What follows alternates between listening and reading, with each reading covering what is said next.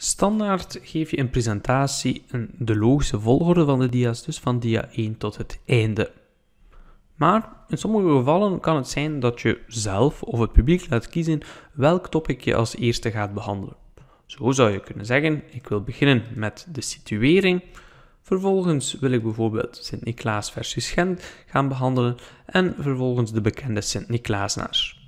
In dit geval zal je van dia 1 naar dia 4 naar dia 2 naar dia 5 springen.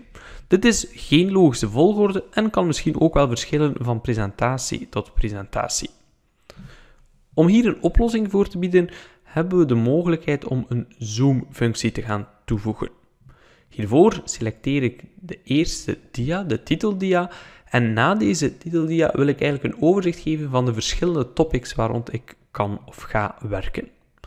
Vervolgens ga ik naar het tabblad invoegen en ga ik naar het onderdeeltje koppelingen. Bij koppelingen vind ik zoom terug en kies ik hier voor overzicht zoom. De overzichtszoom zal een dia worden die toegevoegd wordt na dia 1, waarin we een overzicht geven van de verschillende topics. Ik selecteer deze dia's. Zodra je alle dia's en dus bijhorende thema's hebt geselecteerd, druk je op invoegen. Er gebeuren nu een aantal zaken. Als eerste wordt er een nieuwe dia toegevoegd waar we centraal in beeld alle thema's terugvinden. De thema's worden voorgesteld door de eerste dia van dat thema. Deze dia heeft nog geen titel, dat kan je zelf toevoegen. Daarnaast zien we ook dat in de lijst van de dia's dat er tussentiteltjes gekomen zijn. Deze tussentiteltjes geven eigenlijk aan een sectie of een onderdeel van de presentatie.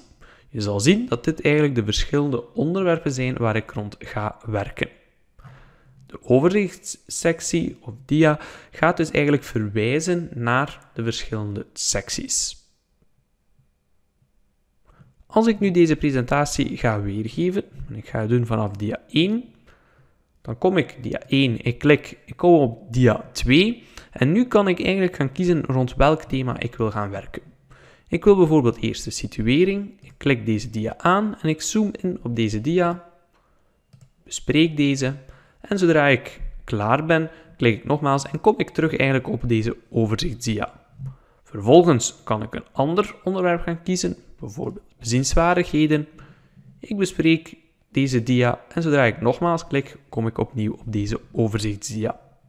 Dus die overzichtsdia gaat eigenlijk een beetje jouw vertrekpunt zijn en zorgt ervoor dat je een dynamische presentatie kan gaan geven en ook heel snel kan terugkeren naar een bepaald topic.